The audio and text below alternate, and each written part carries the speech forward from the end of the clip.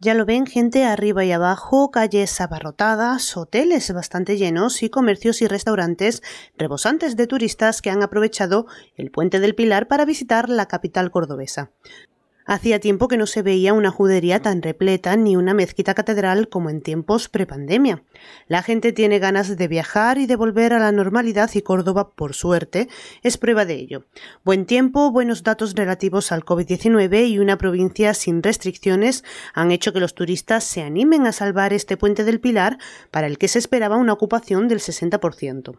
El casco histórico ha vuelto a ser el centro del turismo y se espera que se repitan estos datos en los próximos puentes de Todos los Santos y en el de la Inmaculada. Además, el sector hotelero y el hostelero esperan que el Festival Flora dé un impulso al turismo en este mes de octubre, preámbulo de un otoño más movido que en los dos últimos años.